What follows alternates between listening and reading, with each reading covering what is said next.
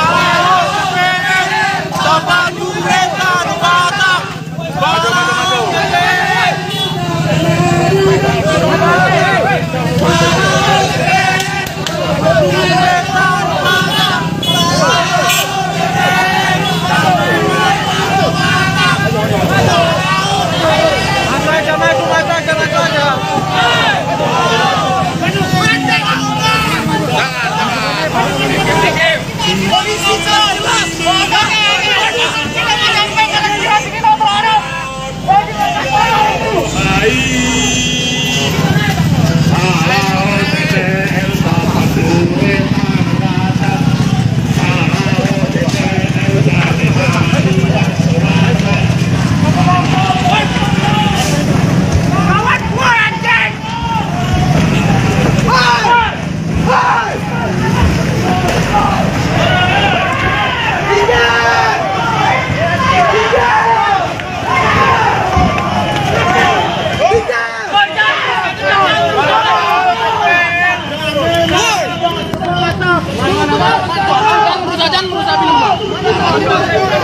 potete trical guitare! Tudo também! Tudo também! Para os aliconas que não tem! Que não tem!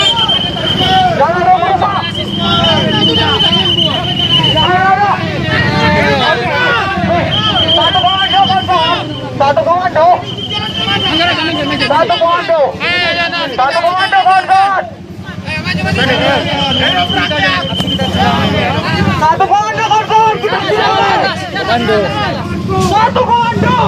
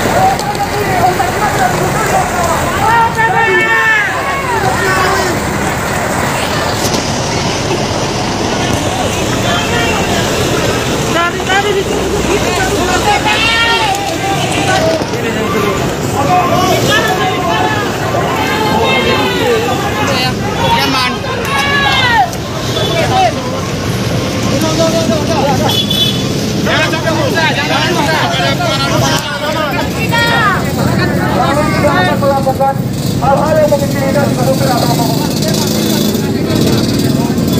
Kami, jangan dikasih waktu 10 menit oleh pihak kepolisian. Kami juga meminta pihak kepolisian untuk segera mencari dokumen-dokumen yang ada di sini.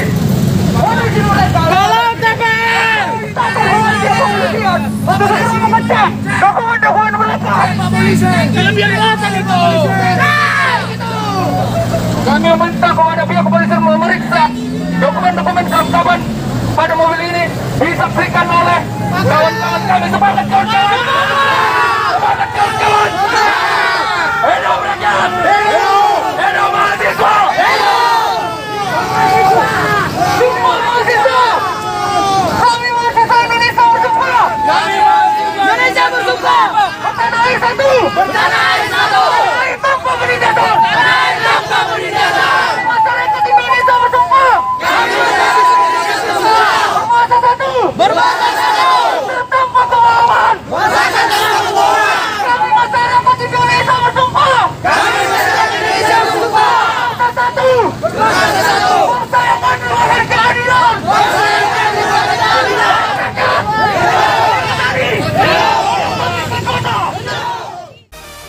Pantauan TV-nya buruh selain berorasi melalui toa dan membentang sepanduk poster tuntutannya, masa aksi juga melakukan aksi teatrikal mengenakan kain ulos. Para pengunjuk rasa mempertontonkan aksi berupa pengerusakan lingkungan yang diduga dilakukan oleh pihak PT TPL di kawasan Danau Toba. Aksi masa ini juga sempat memacetkan arus lalu lintas di sekitar lokasi aksi. Hingga beberapa menit kemudian, akhirnya polisi berhasil mengurai kemacetan tersebut dan mengawal jalannya aksi mahasiswa ini dengan tertib dan damai. Sabtu, 5 Juni 2021, dari Pematang Siantar, Sumatera Utara, tim TV-nya buruh mengabarkan.